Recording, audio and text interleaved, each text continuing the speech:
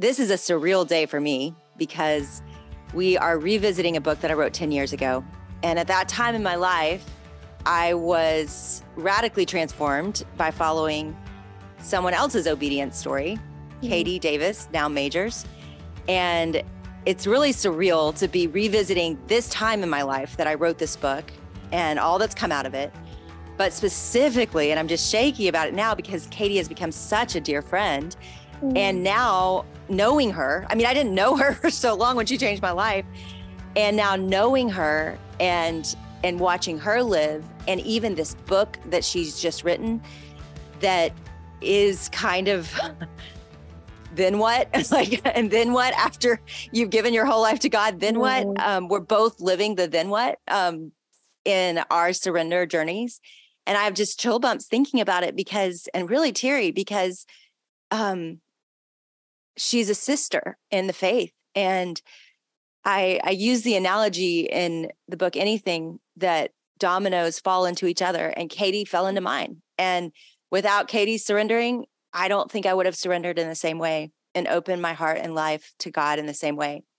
And so she fell into my life and I've fallen into some of yours. And it's just really a full circle moment to all be here together on the podcast. So, Katie, it is such an honor to have you here.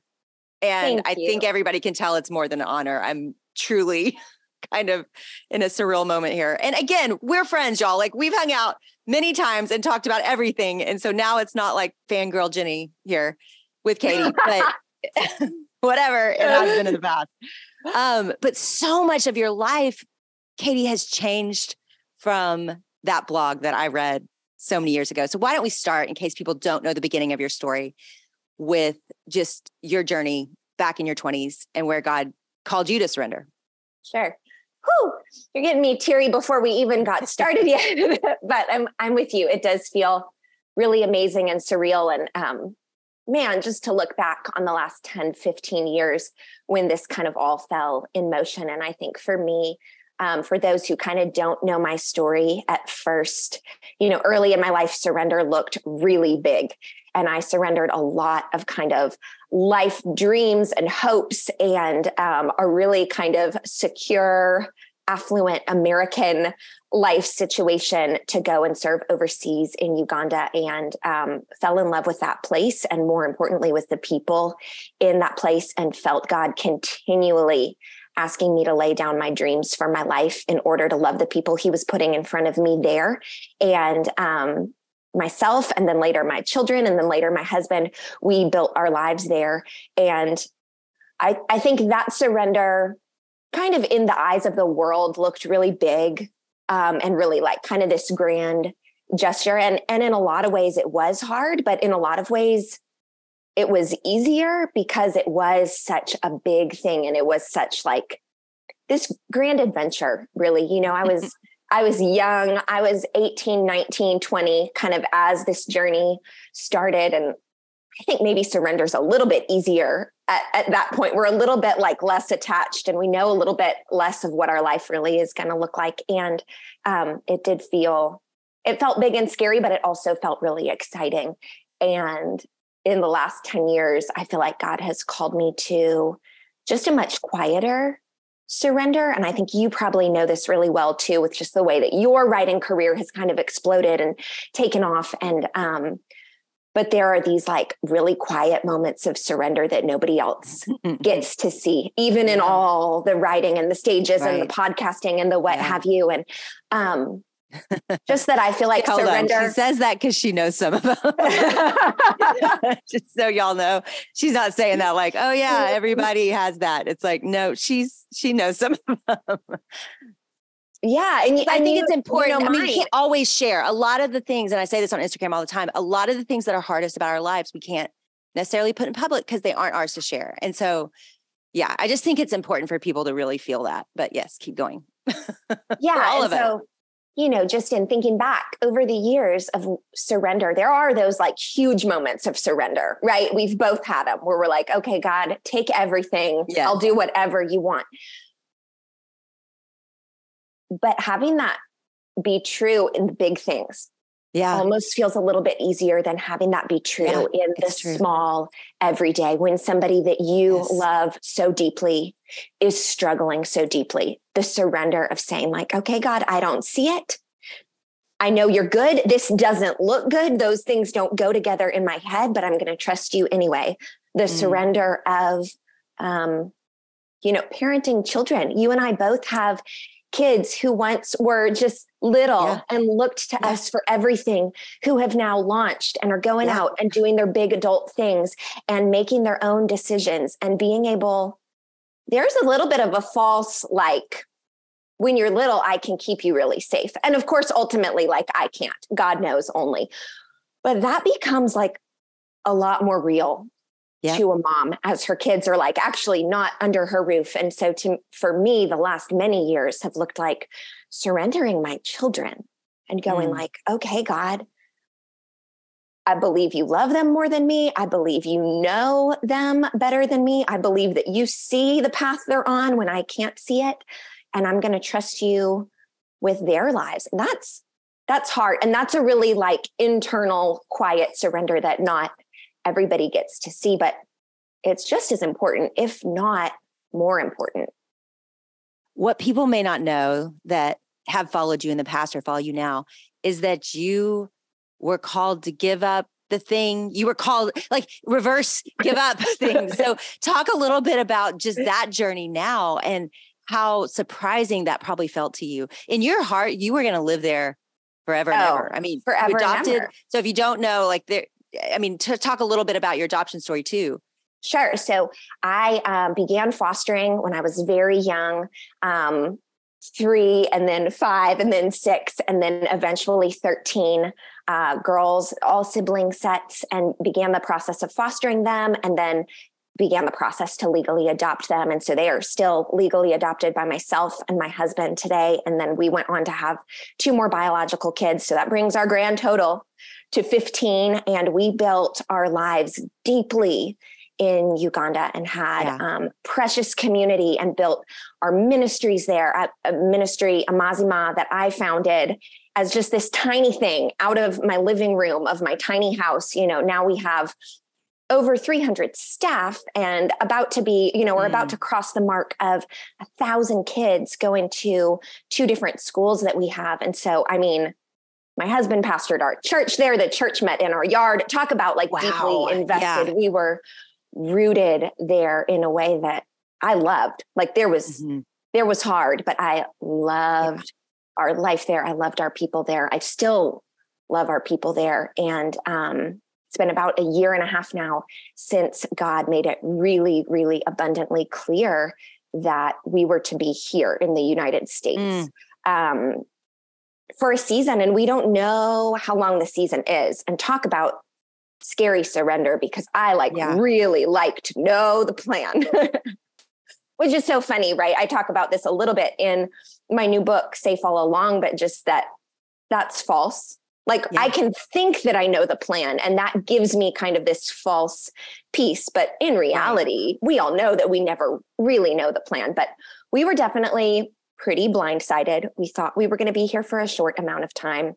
We've been here now for a year and a half. We think we'll be here for at least quite a bit longer. Um, and God has made it clear that this is where He has us in this season. And He's given us really good gifts and provided for us really well here. Um, but I have I have kicked and screamed against that um, yeah. because I surrendered everything here to move toward what he had called me to there. And so then to surrender that, to move forward to the next thing he might be calling us to, I think I felt like that was a little unfair. yeah. like, like you built a life you loved yes, it and you loved yes. your life. I mean, I, I think everybody listening is thinking, oh, you got to come back. Yes, like that, that, right. that would have been their dream, right? But I'm just going to tell you because we were together almost a year ago now, Katie. And I mean, it was it was the four of us, like, and, and there were a lot of tears. And I mean, it was, so and it was tears. just that I was watching in your eyes that pain of just leaving a life that you loved and starting over. And And so just so y'all don't get confused that coming back to the US was not the dream and like secretly she was waiting for God to release her. This was such a loss for you and and the community you had there and the people that you've done your whole life with, right? And your whole kid's life with. So so let's talk about the book because it is I mean, first of all, I want to read the subtitle. Safe all along, trading our fears and anxieties for God's unshakable peace. Katie, I'm going to be honest. There's a part of me, even though I know you well and I have seen you cry, that can't believe you get afraid. I mean, you know what I'm like? You just, I mean, you just kind of are uh, ballsy and not just in what you do, like kind of who you are. Like you're kind of just there, y'all. She's not she's not eh, unshakable is in the title. She's not very shakable. She feels mm. like you could literally have to go through anything and you'd be okay. So talk a little bit about those fears and anxieties and where this book came from for you. Sure. Um, well, thanks. Yeah. And I, I think I would have said that was true of me until I don't know, three or four years ago. Wow. Um, we kind of had hold a on. series. Hold on. Hold on. Everybody listening is going, wow, I've never heard someone that would say that was pretty true of me. like like she, you really weren't afraid. I have to go back to that. Let's start with that. Why? Like, why were you like that? That is that is powerful in itself. I don't know. I mean, I think it has to just be like a supernatural gift from the Lord that yeah. allowed me to do things that like other people wouldn't do. I don't think but you weren't like sitting there myself. doing them and you were like totally terrified. Like you were just like, nope, I'm just doing it. It's it was that simple for you, kind of. I think people are yeah, very curious. Yeah, I mean, that. I think so. I think God just kind of, I didn't really have that spirit of fear. And then I think living through and That's kind amazing. of powering through some really, really challenging yeah. things um, back to back to back to back. Like I felt like our life was kind of in chaos. And then there was COVID, and like the whole world was in chaos. Um, and a lot of our neighbors in Uganda and our friends and people we were doing life with were deeply impacted, like couldn't get to work, couldn't get food. And so um, that, I mean, just there were a lot of things. And my anxiety, I mean, I, I had never, I would have never said like, oh, I feel anxious. And then suddenly like anxious yeah. was all that I felt. Wow. All the time. Wow. Um, and, and just going like, okay, God, what, what do I even what do I even do with this? And like, okay, in my head, I know that you are God who says, cast all your anxieties on me. I know that you are God who sent Jesus, who said, I am your peace and peace I leave you and let not your hearts be troubled. But like, my heart is troubled and I don't think I can do anything about it. Like, I can't untangle it. I can't get it untroubled. And so, um, you know, what does it look like to move that from this head knowledge of like, I know that mm-hmm. this is what the Bible says, and I believe what the Bible says to be true, but like, that is not what I feel in a way that's like deeply impacting my yeah. life, my decision making. I mean, I became this like, yeah, I went from this girl who was like not afraid and could make any decision to like I don't know what we should have for dinner tonight. And I would yeah. agonize over like, should I make this soup wow. or this soup? And just kind of was like, I don't even know. I don't know mm. who I am right now. And so honestly, I, and still like, I wouldn't say we moved unexpectedly to the United States when I was already like halfway done writing this book. Right. Mm-hmm. So kind of that thing of like, you know, they, there are people who say like, I'll never write a marriage book because I just like don't want the enemy to go after my marriage. It felt like that a little of like, oh yeah, oh, you don't write about surrender, write y'all. about peace, right? and so right. like now you're not having any. Yeah. um. So we we moved in the middle, and again, like you sat with yeah. me in those tears. I mean, like gut wrenching yeah. of just wondering like how are we going to do this how are we going to rebuild and i think though i mean of course, God has been so faithful to meet me there. And I think we so often think that, like, you know, we were talking about this at Bible study last night. Like, we, we so often think that, like, happiness is the end goal or a changed mm. circumstance is the end goal. Like, we say, mm-hmm. like, okay, God, I surrender and I trust you.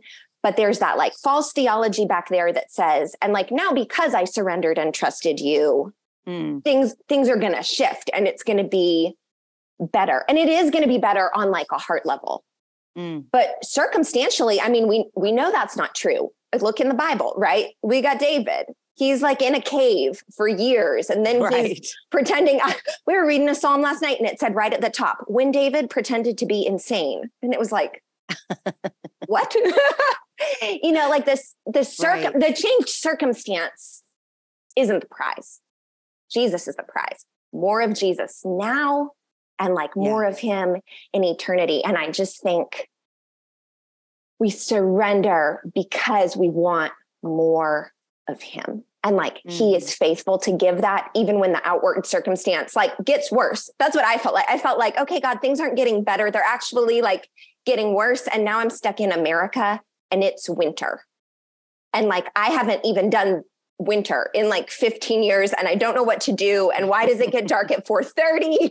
Yeah. So dis- real. so disorienting. But I mean, I, I think we surrender because we want to more deeply experience him and like man, I know there are people listening that are going through all sorts of things and their prayer is that their circumstance would change. And like I get that because I pray.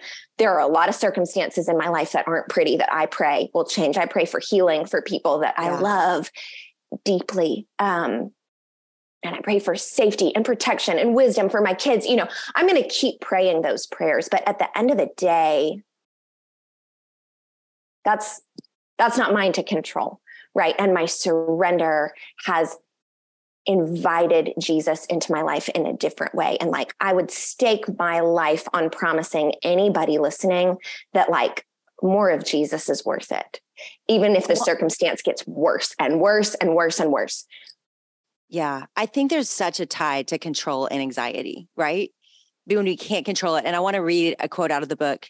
You say, intellectually, I know that I am not in control, nor do I actually want to be in charge of everything experientially, I know deeply that God's plans are so much better than than mine and that things go better when I stop trying to be in control and instead submit to him. And something even about those words, Katie, like makes me exhale of mm. yes, like yes, he's in control. Talk about just that tie for you and how you've seen letting go of the control of your life and how that's decreased anxiety. Yeah. I mean, I think it's so even as you read that, I'm like, oh yeah, I said that, right? Like I gotta actually like it's so easy to say that and then just not right. live it in the day to day because I there's the, the, other part of my brain that believes like, well, as long as I can keep everything kind of in right. control, things will go well for me. Um, but man, the amount of time my my poor little brain spends like making plans that never happen. Mm. And imagining the worst case scenario and then making the plan for how we're going to deal with the worst case scenario. and then we're not even like, those things right. are not even actually happening to me right now. Like the brain space that is freed up when I can constantly just kind of take those thoughts to Jesus and mm. leave them there with him and go like, okay, I have right now. And like one thing that's been really on my heart recently is just like what do I want to be said of me mm. when I die? You know, when this life is over. And I just really don't want it to be like she was always really busy making sure everything was just right. Mm. Like nobody cares. right. Like I, I want people to say, like, wow, she loved people really well or she encouraged mm. people really well. And like in order to do those things, I've got to be really, really present yes with whatever's happening right now and i can't do both i can't right. be really present with my kids or with my friends or with my people if if my mind is living in the future and trying to make a plan for what might happen next um and so i think just again like it's it's always back to surrender, right? Continually surrendering and submitting those thoughts to Christ and just noticing it about myself, mm-hmm. I think helps me mm-hmm. catch it, right? I notice right. now when I'm making the plan for two months from now, and I'm able to go like, okay, I don't actually know how that's going to play out. And so making four different plans for the four different scenarios that might happen, like it's not fruitful. It just mm-hmm. isn't. And so like retraining my brain to go like, okay, what can you be a really good steward of like today and maybe mm. tomorrow? Um, right. And and yeah, just trying to reframe it into like I can do something really well now and I can love Jesus really well now and I can love my people really well now. And that might sound really simple, you know, and there's there's people going like, yeah, well you have to plan. I mean, yes, I have this gigantic color coded calendar yeah. for everybody in my family as a color and we've got right. dentist appointments and we've got this and there's some planning there, but we don't have to plan for all these imaginary scenarios. I want to talk a little bit, and I don't want to make you sad about this, but let's talk about why you missed Africa because mm. I think mm. I was so moved by that when we talked last year. So, talk just about how simple life was there and how much easier it was because I think it's helpful for people to hear how how complicated and cluttered our lives are, what we're up against when it comes to anxiety yes. and living simply. Yes, absolutely. I mean, we just, everything was so much slower and so much simpler. Um, I don't love stereotypes or generalizations, but I do think that generally speaking, the American culture values time above relationship. And mm-hmm. generally speaking, the Ugandan culture values relationship above time. And so in Ugandan culture, it is pretty much just appropriate to be a few minutes late because you spent the extra few minutes having a conversation with somebody mm. who knocked on your door. And I think I see in American culture that in most circles, it's more appropriate to just say the thing of like, oh my gosh, sorry, I'm running late to a meeting, bye, and leave. Mm. And nobody's really sad or offended by that because that's how we all live. And so it's not unusual that someone would say that. But I, I just, I moved here and I was always late for everything. And therefore I was always in a hurry for everything. And it, it felt like there just wasn't time to mm. like deeply connect with people. And that's one of the things that my heart missed right. the most was just this slow, deep connection. I mean, I had to learn. It's funny. I had to learn all of that culture going in because I was accidentally really rude. And then I feel like I came back to America and was accidentally really rude because I was doing it all backwards because I taught myself to do it backwards. Um, but you know, in Uganda, wow. if someone comes to your house, like you have them in, you make them a cup of tea. It's yes. like this whole thing. You have to sit and pay attention and listen. And those are all really good things that we don't have the space for in our day yeah. here because there are just always a million meetings to go to and calls to take and kids have all their like individual things. That was a uh, that was another thing. And part of this is probably because of Uganda and part of it is probably just we lived in a really small town and now we live in Nashville and it's big. Um but just but like you of, didn't have to drive a lot in Uganda. No. No. And if I had to drive 15 minutes that was like an event. So all your kids, like I had to like to mentally school, kind of prep yeah. for that. Yeah. And so everybody could kind of get to their own places and do their own yeah. thing. And a lot of our circles overlapped. So like the people that I worked with were generally also the people that we went to church with. And they were mm-hmm. also the people that my kids went to school with. Yes. And like yes. the teachers at my kids' school were also the parents of my kids' friends, were also the co-pastors of our church were also my coworkers. Like we just, there was yep. so much life overlap. And then when we got here, I realized like, oh, I wanted my kids to plug in and have community, but we were like accidentally all making separate communities. Yeah. Like my husband has work people, and then I have work people. And then, you know, one of our daughters joined the cheerleading squad. And so she had like cheerleading friends but they all had parents, but none of those parents were like in any of my right. circles or Benji's yes. circles. And so then everybody had a circle. Well, then we yeah. were never like all hanging out together because our people weren't the same. And so, anyway, it kind of feels like to be intentional and to live the life that I want to experience for the sake of my family and the connectedness that I want for my family all these years i thought i was working really hard on intentionality but really like ugandan culture was built in a way that it supported my intentionality right and here it feels like i still want to work really hard on all that intentionality and connectedness but in order to do that man it's like it's, it's a lot of work. upstream it's a lot well, of work yeah because i did all that research for find your people and it broke my heart. And ha- I mean, after the research, I almost was paralyzed of even how to write the book. And you and I talked about this last year. Of it's just it's it's like oh gosh, we just live in a completely broken system. Like there, it's really hard,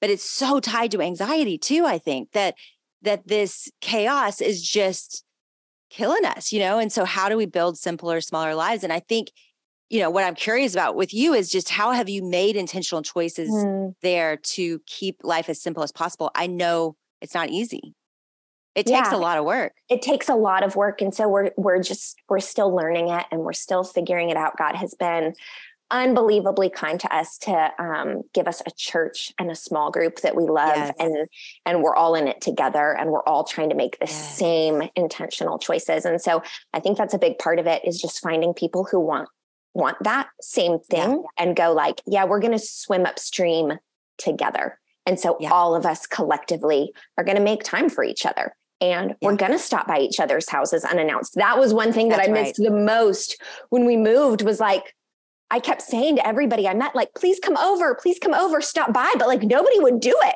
Like nobody was coming to my house.